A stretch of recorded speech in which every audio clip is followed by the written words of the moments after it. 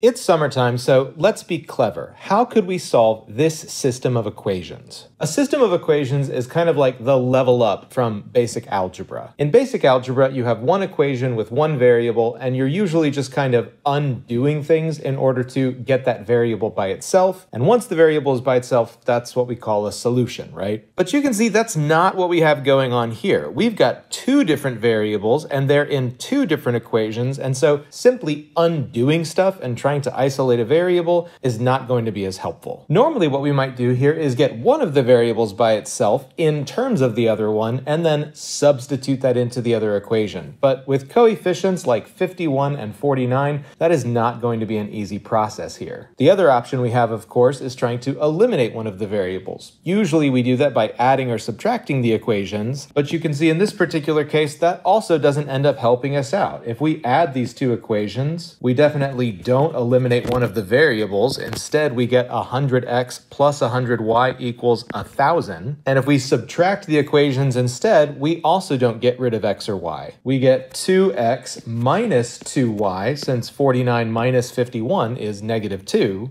equals 2. What's interesting about this, though, is it represents another system of equations. But because the only manipulation we did was adding and subtracting the first set of equations, whatever the solution is to this kind of simpler looking system of equations must be the same as the solution to the original system of equations. Here's what I mean when I say that this system looks a little bit simpler to me. 2x minus 2y equals 2, I can see that 2 everywhere, which means it can be factored out. And therefore, I can actually rewrite that equation simply as x minus y equals 1. For that matter, in the second equation, I also notice a common factor. 100, 100, and 1000 are all divisible by 100. 100. And so if I factor that 100 out, I get one single x plus one single y equals 10, since 100 goes into 1,000 10 times. And now this is a system of equations primed for elimination. This time, if I add these two together, x plus x makes 2x, and then minus y plus y makes 0. This is what we mean by elimination. 1 plus 10, of course, is 11, and then to get the x by itself, all I have to do is divide everything by 2, which gives me back x equals 5.5. Of course, once I know that x is 5.5, I can go back to either of the two equations I had a second ago. I'll just use this first one, and I can substitute. 5.5 minus what number y equals 1? The number 1 less than 5.5. It must be the case that y equals 4.5. And indeed, if I